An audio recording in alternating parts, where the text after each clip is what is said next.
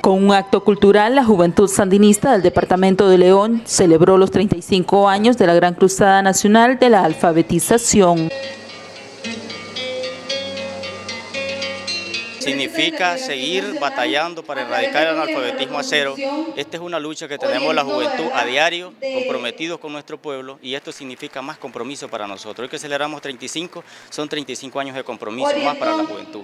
Y nosotros nos comprometemos pues ante nuestro pueblo, ante nuestros héroes y mártires, a seguir batallando, no defraudarlo y vamos a erradicar el analfabetismo a cero. Seguir el legado de Carlos Fonseca, porque el comandante Carlos Fonseca soñaba con enseñar a leer y escribir a todos los campesinos, y no todos los campesinos, sino que a todos los ciudadanos que no sabían leer y escribir y que vivían en los curanas.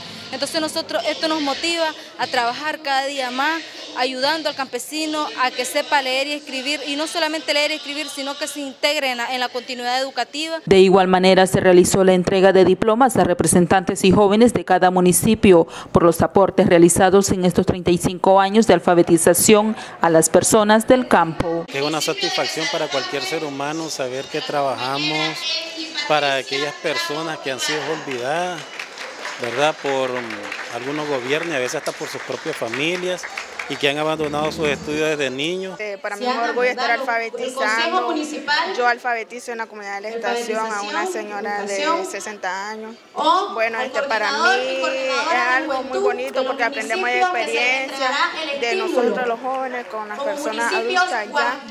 Este, esto es como siempre, como lo dejan un legado, nuestro comandante Carlos Fonseca Amador, que fueron personas que se dedicaron a dedicar el alfabetismo siempre adelante alfabetizando.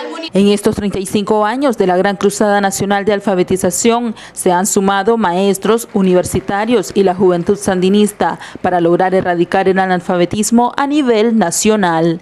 Desde León, Fátima Suazo, lo que se vive.